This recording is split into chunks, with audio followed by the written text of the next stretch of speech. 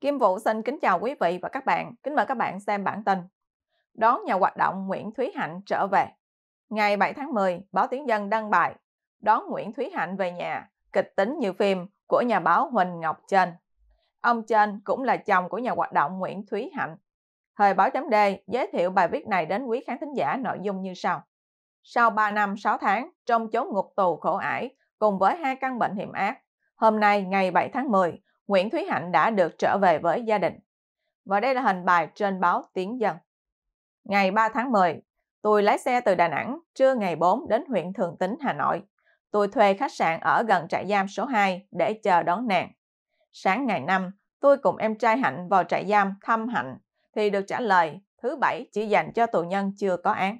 Tôi hỏi thứ hai ngày 7 Hạnh được mãn hạn tù thì đón Hạnh như thế nào? Cán bộ tại đây nói không biết chuyện đó. Tôi ra hỏi bộ phận tiếp khách thì được trả lời 9 giờ sáng ngày 7 đến cổng trại tạm giam đón về mà không cần thủ tục gì cả.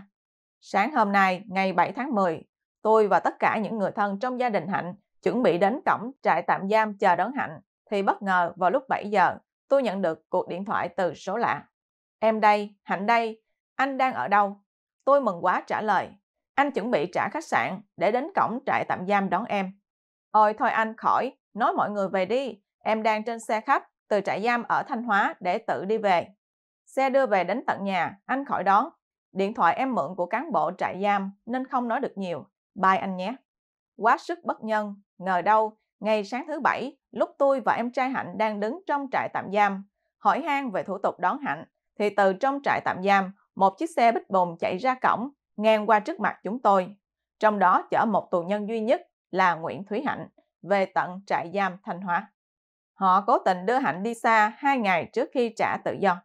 Và đây là hình bà Nguyễn Thúy Hạnh cùng bạn bè và người thân trong ngày trở về. Có lẽ họ e sợ mọi người biết trước nơi Hạnh ra tù sẽ đến chào đón đông đúc. Thật ra gia đình cũng biết trước điều này, sợ họ gây phiền hà, lại bí mật chở Hạnh bỏ đâu đó giữa đường, như trường hợp Trương Duy Nhất trước đây, nên hoàn toàn giấu kín bạn bè. Nào ngờ họ cẩn thận quá mức, đã đưa Hạnh đi từ trước hai ngày. Quá sợ hãi, sợ hãi cả một người tù đã mãn hạn. Nhân đây, tôi cùng gia đình xin lỗi tất cả bạn bè trong hai tháng qua không trả lời mọi tin nhắn hỏi thăm về Hạnh. 9 giờ, Hạnh điện về báo đã đến Hà Nội, đang lên xe trung chuyển về nhà. Cả nhà hồi hộp chờ mãi đến 11 giờ vẫn chưa thấy Hạnh đến nơi, quá sức kịch tính. Nhưng dù thế nào thì sau 4 tiếng đồng hồ phập phòng trên xe đò, ngay bây giờ Hạnh cũng đã đến nơi, đang trong vòng tay yêu thương của cả gia đình và bạn bè và sự bao vây giám sát của mấy cháu an ninh địa phương. Tội của Hạnh là yêu thương những hoàn cảnh cơ cực, nhất là những gia đình tù nhân lương tâm, nên lập quỹ 50.000 đồng quyên tiền cứu giúp những hoàn cảnh ấy. Nguyễn Thúy Hạnh đã bị xử kính với bản án 3 năm rưỡi tù giam, nay đã mãn hạn tù. Và đây là hình vợ chồng Nguyễn Thúy Hạnh, Huỳnh Ngọc Trên ngày đoàn tụ. Kế hoạch trước mắt của Hạnh là tiếp tục chữa trị bệnh ung thư là căn bệnh phát sinh ra vì chế độ ăn uống vô cùng mất vệ sinh trong trại tạm giam và bệnh trầm cảm đang ngày càng trở nên nặng hơn vì chế độ khắc nghiệt của nhà tù. Căn bệnh quái ác này đã làm cho Hạnh mấy lần tự tử nhưng bất thành. Trong thời gian Hạnh bị đi tù, đã có rất nhiều bạn bè cũng như các cơ quan truyền thông lên tiếng bên vật, động viên và chia sẻ với Hạnh cũng như với gia đình. Hạnh cũng được bạn bè, các tổ chức trong và ngoài nước, các dân biểu, nghị sĩ Mỹ, Canada, EU lên tiếng binh vực và yêu cầu trả tự do. Nhiều người đã viết kiến nghị và ký đơn kiến nghị gửi lên nhà nước yêu cầu trả tự do cho Hạnh để chữa bệnh. Cũng vì việc làm này mà những người bạn dũng cảm đó ở trong nước đã bị an ninh mời lên làm việc hoặc bị gây phiền nhiễu. Trong thời gian Hạnh chữa trị bệnh ung thư, nhiều bạn bè cũng đã gửi nhiều quà, thuốc, sữa và các thức ăn bổ dưỡng đến giúp Hạnh. Qua đây, Nguyễn Thúy Hạnh cùng gia đình gửi đến tất cả các bạn lòng biết ơn sâu sắc từ tận đáy lòng.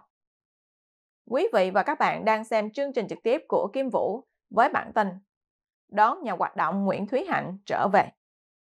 Xin mời quý vị và các bạn chia sẻ video này cho nhiều người biết và bấm nút theo dõi trên YouTube và Facebook của Thời báo chấm đề để luôn được cập nhật bản tin mới nhất, nhanh nhất và trung thực nhất. Kim Vũ xin kính chào các bạn và hẹn gặp lại các bạn trong chương trình lần tới. Kim Vũ xin kính chào quý vị và các bạn. Kính mời các bạn xem bản tin. Việt Nam cần cẩn trọng trước chiến thuật bùng xám của Trung Quốc. Ngày 4 tháng 10, blog Hoàng Trường trên VOA Tiếng Việt bình luận sau hành xử thô bạo, Trung Quốc sẽ làm gì tiếp?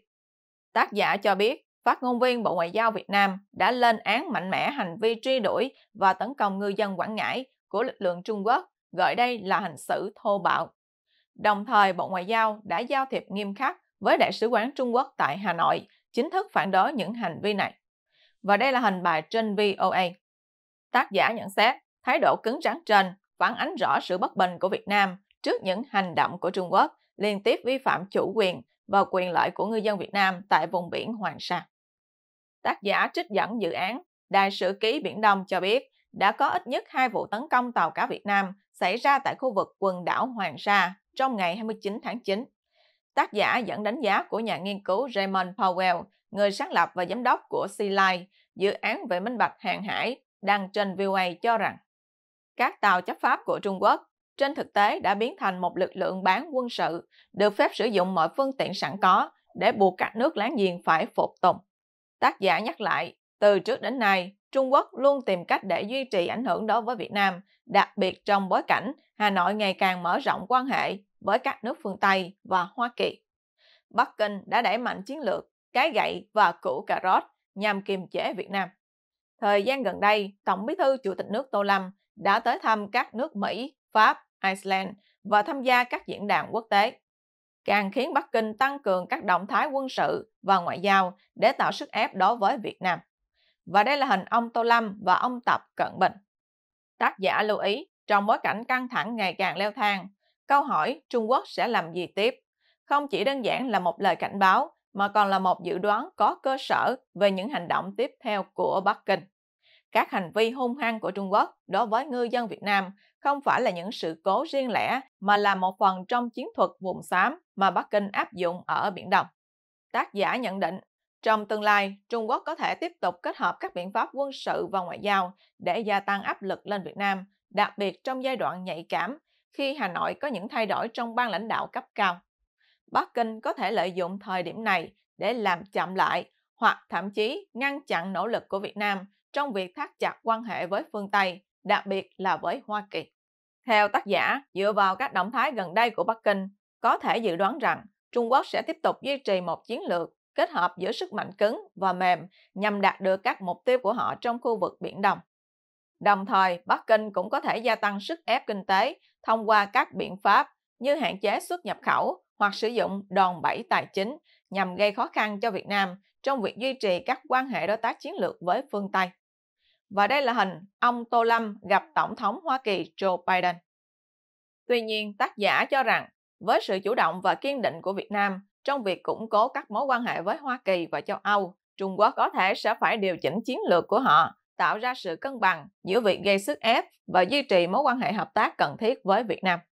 Tác giả cũng cho biết, nhân dịp Bộ trưởng Công Thương Nguyễn Hồng Diên tham dự kỳ họp lần thứ 13 Ủy ban Hợp tác Kinh tế Thương mại Việt Nam, Trung Quốc tại Bắc Kinh. Ngày 30 tháng 9, Bộ trưởng Công nghiệp và Công nghệ Trung Quốc đã kêu gọi Việt Nam hợp tác với Trung Quốc trong lĩnh vực sản xuất và chế tạo máy bay. Tác giả đánh giá, trước mong muốn tăng cường hợp tác kinh tế và công nghệ với Việt Nam của Trung Quốc, Hà Nội cũng sẽ phải đối mặt với áp lực không nhỏ từ các quốc gia phương Tây, đặc biệt là Hoa Kỳ. Trong bối cảnh ấy, Việt Nam cần duy trì một chiến lược ngoại giao cân bằng bền, tiếp tục thu hút đầu tư và hỗ trợ từ phương Tây, đồng thời không để mối quan hệ với Trung Quốc trở nên căng thẳng quá mức. Quý vị và các bạn đang xem chương trình trực tiếp của Kim Vũ với bản tin Việt Nam cần cẩn trọng trước chiến thuật vùng xám của Trung Quốc. Xin mời quý vị và các bạn chia sẻ video này cho nhiều người biết và bấm nút theo dõi trên YouTube và Facebook của Thời báo chấm đề để luôn được cập nhật bản tin mới nhất, nhanh nhất và trung thực nhất. Kim Vũ xin kính chào các bạn và hẹn gặp lại các bạn trong chương trình lần tới.